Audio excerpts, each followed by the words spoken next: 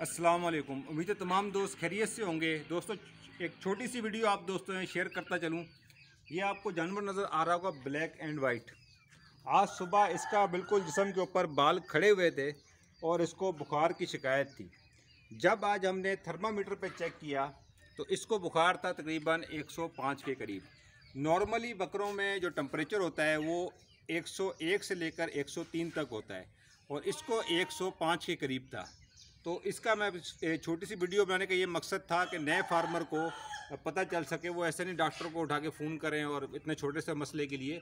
दोस्तों कार ये होता है कि आपने इसको दर्द के लिए दो गोली डेक्लोरान दे देनी है और दो गोली आपने पैनाडोल की दे देनी है। उससे ये अभी हमने सुबह दी थी और अभी दोपहर हो रही है। बकरा जुगाली भी करने लग गया है और तकरीबन एक्टिव भी हो गया पहले सिर्फ़ सुबह एक कोने में खड़ा हुआ था। इसका बड़ा छोटा सा इलाज होता है। आप ये कर लीजिए करें, कोई इतनी बड़े मसला नहीं होता है। उम्मीद करता हूँ ये छोटी सी वीडियो आपको पसंद आई होगी। वो चेक कर गया हुआ है।